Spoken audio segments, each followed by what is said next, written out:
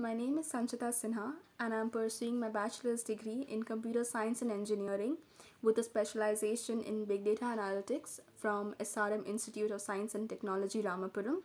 I'm in the graduating batch of 2022 and I'm placed in Airtel Africa with a package of 15 lakhs per annum along with a 3 month internship with a stipend of 50,000 per month.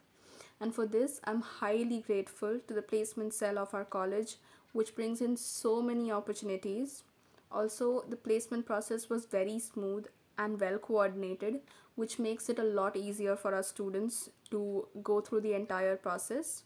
Also, I was in campus for about two years, after which the pandemic hit, but those two years were really amazing. The campus is great, the hostels are very safe, and the locality is also very decent even when we switch from offline mode to online mode suddenly, I never once felt that I was not in campus because of how regularly we had these workshops and webinars that were organized by the college and also numerous club activities which was so valuable for me in terms of the exposure that they give and the opportunity to interact with industry experts in order to understand where I stand and what I need to do in order to make myself better at what I do. So, all in all, SRM really proved itself as being one of the top